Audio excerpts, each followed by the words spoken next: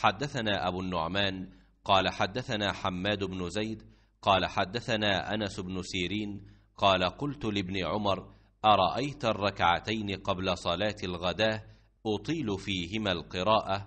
فقال كان النبي صلى الله عليه وسلم يصلي من الليل مثنى مثنى ويوتر بركعة ويصلي الركعتين قبل صلاة الغداة وكأن الأذان بأذنيه.